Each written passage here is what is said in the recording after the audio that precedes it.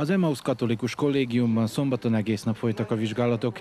Elsősorban megelőző vizsgálatokat végeztek, gyerekeknél személyzeti, fogászati, mozgásszervi betegségek szűrése, a felnőttek esetében vércukorszint, vérnyomásmérés, EKG vizsgálat elvégzése mellett nőgyógyászati vizsgálattal bővültek a látogatások. A mai napra közel 300 jelentkező volt, aki különböző vizsgálatokat vár, akár a gyermekeinek, akár pedig magának.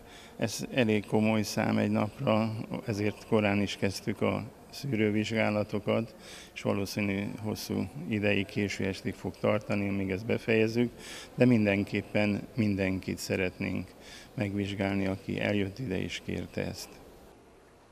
Az elmúlt három év alatt összeállt egy orvosokból és technikai személyzetből segítőkből álló 70 tagú csapat, amely havi rendszerességgel olyan határon túli településekre látogat el, ahol hiányos az orvosi ellátás. Nem azért jövünk, mert magyarok vagyunk, azért is.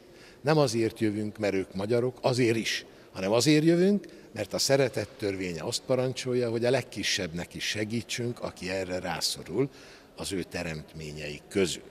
Tehát így jöttünk most harmadszor Musjára, harmadik alkalommal 300 szűrést tervezünk elvégezni, és azért ide, mert az itt élők nagy része még magyarul beszél, magyarul álmodik, magyarul imádkozik.